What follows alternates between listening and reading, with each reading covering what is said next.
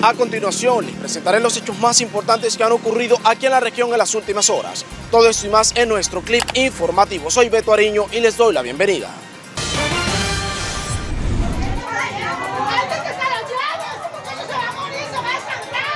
En un hecho de intolerancia por motivos pasionales fue asesinado de una puñalada en el cuello el joven de 25 años Darwin Jesús Arevalo Ramírez en el corregimiento San José de Oriente, jurisdicción del municipio de La Paz Cesar. Esta persona habría sido asesinada por un familiar que presuntamente sostenía una relación amorosa con su pareja.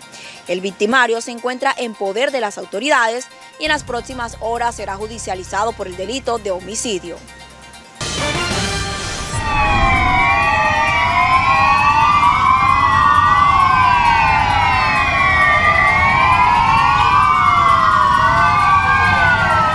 Ofrece una recompensa hasta de 150 millones de pesos por información que conduzca al paradero de los responsables del asesinato del subintendente Víctor Alfonso Gutiérrez Bolívar, de 38 años.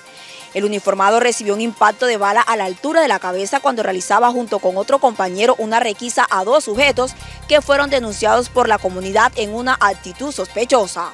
En un video grabado por cámaras de seguridad, se ve al parecer a uno de los delincuentes correr de los policías tras cometer el crimen. Uno de los implicados sería alias Quilla. Cabe mencionar que con este hecho, el número de homicidios asciende a 119 en lo corrido de este 2023. En el cementerio de Curumaní, Cesar se suicidó mediante la modalidad de ahorcamiento Johnny Manuel Ramos Torres, conocido cariñosamente como Johnny Bravo. Este hecho ha causado conmoción en la comunidad.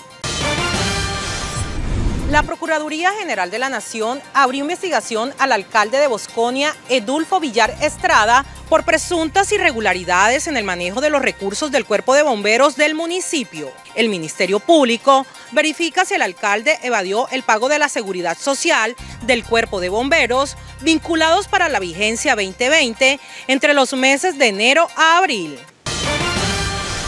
En los próximos días se realizará la audiencia de imputación de cargos y solicitud de medida de aseguramiento contra Lucenit Orozco Troya, empleada doméstica de la residencia del cantante Silvestre Dangón en Valledupar, implicada en millonario robo. En la audiencia de legalización de captura, la Fiscalía suspendió la diligencia judicial para recolectar otros elementos materiales probatorios. La comunidad de Becerril, de donde es oriunda la procesada, realizó una manifestación el fin de semana pasado para rechazar la aprehensión de la mujer.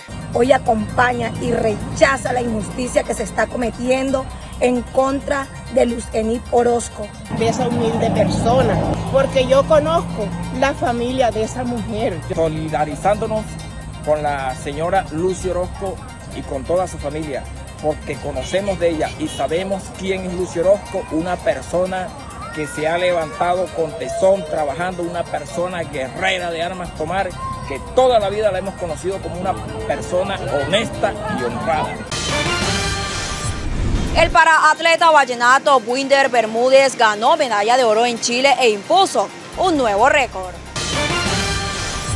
En las próximas horas se realizará la audiencia de legalización de captura e imputación de cargo contra Alcibiades Carreño Carvajal, presuntamente por el delito de acceso carnal violento agravado con cuatro estudiantes menores de edad de la institución educativa Agustín Rangel del corregimiento San Roque, jurisdicción de Curumani, Cesar. En diferentes zonas rurales del municipio de Las Aguas de Ibirico, Cesar, banderas y grafitis alusivos a la FARC fueron dejados, al parecer, por este grupo al margen de la ley. En el barrio Camilo Torres del municipio del Copey Cesar fue atacado a balazos Andrés Orellano. Esta persona que presuntamente registra anotaciones judiciales se encuentra luchando por su vida en un centro médico de dicha jurisdicción.